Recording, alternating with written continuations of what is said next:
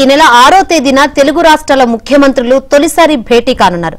విభజన సమస్యలపై చర్చించుకుందామంటూ AP CM Chandrababu Telangana CM Revanth రెడ్డికి లేఖ రాశారు. దీనికి రేవంత్ కూడా సానుకూలంగా స్పందించారు. దీంతో తెలుగు రాష్ట్రాల ముఖ్యమంత్రులు తొలిసారి భేటీ కానున్నారు. విభజన చట్టంలోని కీలకమైన అంశాలపై చర్చించనున్నట్లు తెలుస్తోంది.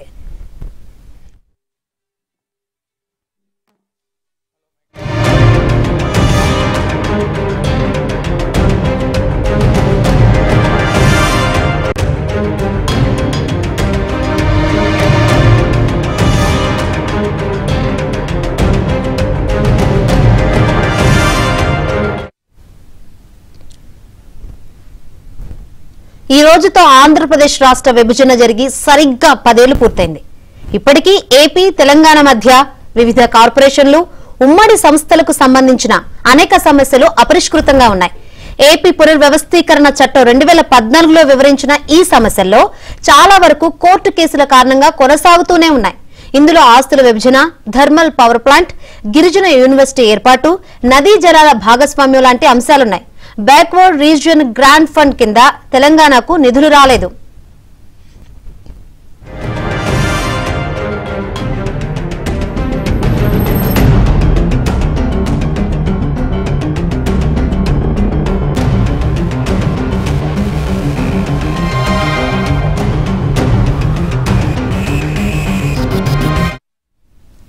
ఏపీఆర్ఏ ట్వంటీ ఫోర్టీన్ చట్టంలో పన్నెండు భాగాలు పదమూడు స్కెడ్యూళ్ళు ఉన్నాయి. స్కెడ్యూల్ తొమ్మిది సంస్థల ఆస్తులు అప్పుల విభజనపై సిఫార్సులు చేయడానికి అప్పటి ఏపీ ప్రభుత్వం డాక్టర్ షీలా ఖేడే అధ్యక్షతన నిపుణుల కమిటీని ఏర్పాటు చేసింది. అనంతరం ఉద్యోగుల విభజన కూడా ఈ కమిటీకి అప్పగించింది. Sheela Khide panel Andhra Pradesh state finance corporation మినహా తొంభై కంపెనీలు కార్పొరేషన్లకు సంబంధించి సిఫార్సులు ఇచ్చింది.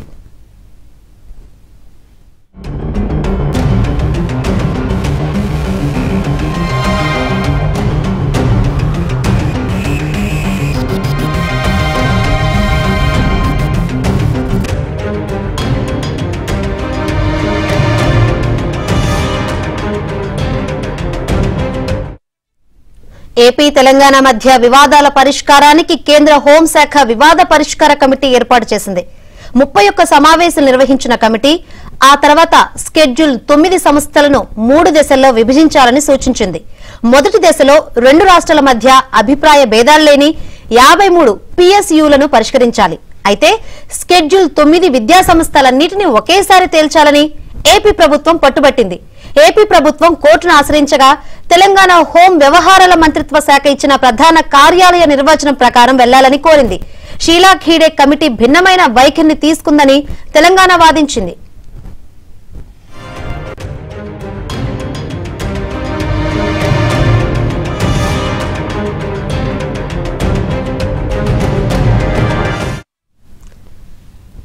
రాష్ట్ర స్థాయిలో అన్ని సమస్యలను పరిష్కరిస్తే ఏపీ పవర్ యుటిలిటీ నుంచి తెలంగాణ పవర్ యుటిలిటీ దాదాపు పదిహేడు వేల ఎనిమిది వందల ఇరవై ఎనిమిది కోట్లు పొందాల్సి ఉందని తెలంగాణ పేర్కొంది.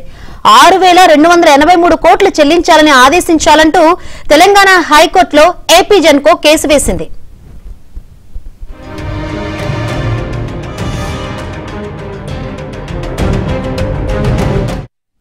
ఉమ్మడి ఆంధ్రప్రదేశ్ విభజన జరిగి పది సంవత్సరాలు పూర్తయినా కూడా ఆస్తుల విభజన విద్యుత్ బిల్లుల బకాయిలు వంటి పలు సమస్యలు తెలుగు రాష్ట్రాల మధ్య ఇప్పటికీ అపరిష్కృతంగానే ఉన్నాయి.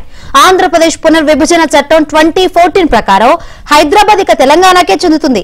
అధికార వర్గాల సమాచారం ప్రకారం రెండు రాష్ట్రాల మధ్య చట్టంలోని స్కెడ్యూల్ తొమ్మిది స్కెడ్యూల్ పదిలో పేర్కొన్న వివిధ సంస్థలు కార్పొరేషన్ల విభజన పూర్తి కాలేదు. పలు అంశాలపై ఏకాభిప్రాయం లేకపోవడమే అందుకు కారణం.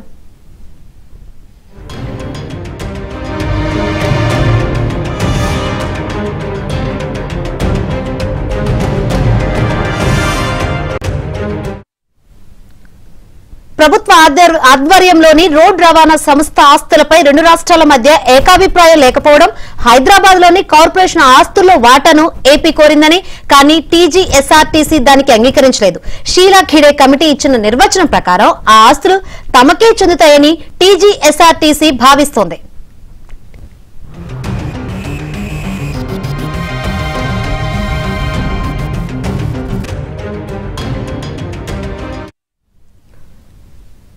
అమరావతిని పర్యావరణ హిత ప్రపంచ శ్రేణి రాజధానిగా అభివృద్ధి చేయాలని చంద్రబాబు సంకల్పించారు. హైదరాబాద్లోని లేక్ వ్యూ ప్రభుత్వ గెస్ట్ హౌస్ వంటి భవనాలను జూన్ రెండు తర్వాత స్వాధీనం చేసుకోవాలని తెలంగాణ ముఖ్యమంత్రి రేవంత్ రెడ్డి రాష్ట్ర విభజన సమస్యలపై నిర్వహించిన సమీక్షా సమావేశంలో అధికారులతో చెప్పారు. లేక్ వ్యూ ప్రభుత్వ గెస్ట్ హౌస్ను పది సంవత్సరాల పాటు ఆంధ్రప్రదేశ్కు కేటాయించారు. కాగా ఢిల్లీలోని ఆంధ్రప్రదేశ్ భవన్ పై వివాదాన్ని గత మార్చిలో పరిష్కరించారు. ఆ స్థలాన్ని రెండు రాష్ట్రాలకు కేంద్రం కేటాయించింది. విభజన సమస్యలపై మార్చిలో దేశ రాజధానిలో రెండు రాష్ట్రాల సీనియర్ అధికారులతో కేంద్రం సమావేశం నిర్వహించింది.